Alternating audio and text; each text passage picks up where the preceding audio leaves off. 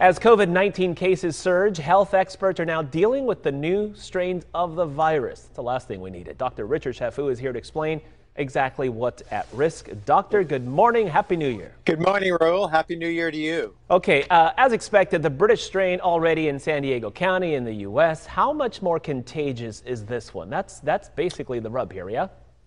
Yeah, so it's interesting, Raoul. I mean, researchers are looking at it, and we know, you know, viruses mutate frequently. It's just a fact of life. And there is evidence that the, um, the newer strain is a bit more contagious. In fact, in the UK now, I think it represents about 60% of new cases in London alone. So there is definitely evidence that it seems to be more contagious than earlier strains. What will the vaccine do to this new strain? Will it work the same, or can it mutate further to the point where the current vaccine won't work? That would be uh, that would be bad news.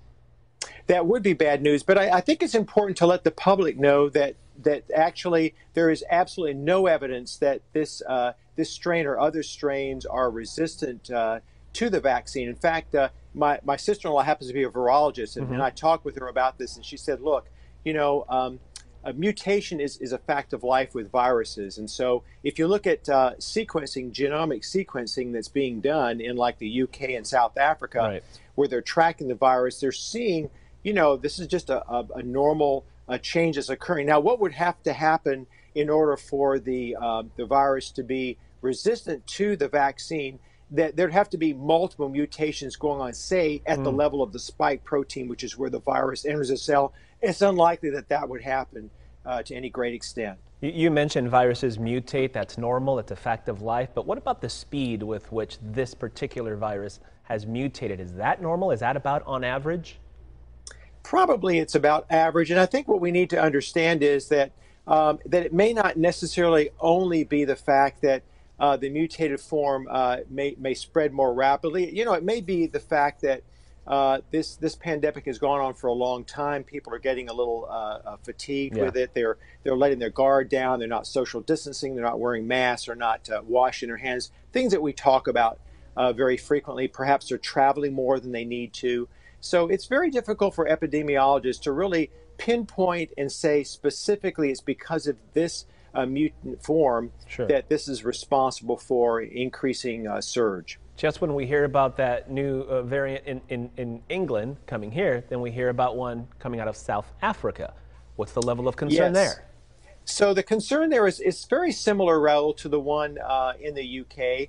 Uh, we know that uh, you know that it, it, started around Mandela Bay, and now it's, it's really gone throughout all of South Africa, uh, even down as far down as Cape Town in the south. So it's uh, again, it seems to be uh, you know, researchers are feeling it may be more uh, more likely to be spread uh, and more contagious. But again, it's it's one of many factors. Based on what we learned from this virus and the one in, in the London variant, are there extra efforts being put to contain the South Africa one, or how does that work? Well, you know, there was a travel ban, as you know, in right. South Africa, and that was lifted the 1st of October.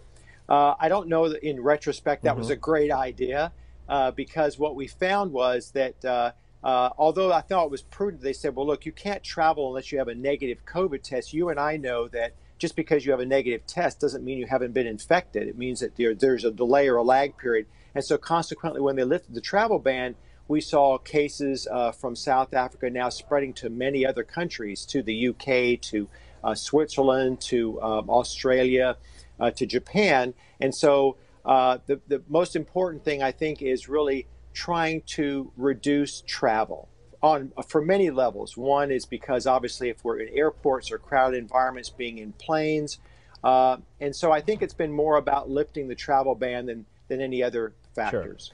Sure. Uh, so just mentally preparing people. Are we likely to see more mutations uh, as a result of this?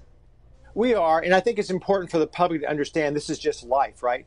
And, and most of the mutations occurred, uh, virologists would tell us, early on in this disease in the ability of the virus, of the COVID 19, to actually get uh, to pass from another mammal species, mm. the bat, to the human species. And so we'll continue to see, you know, changes going on.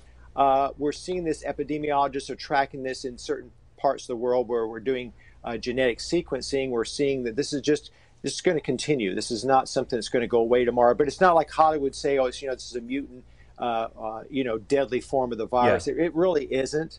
Uh, it's a variation on a theme, so to speak. Uh, yeah, it's like we're trained. We don't like the word mutant on anything, but it's glad. I'm glad no, that. No, not I'm glad we talked to right. you, kind of put things into perspective for us. Uh, Dr. Richard Chaffoo, thank you as always.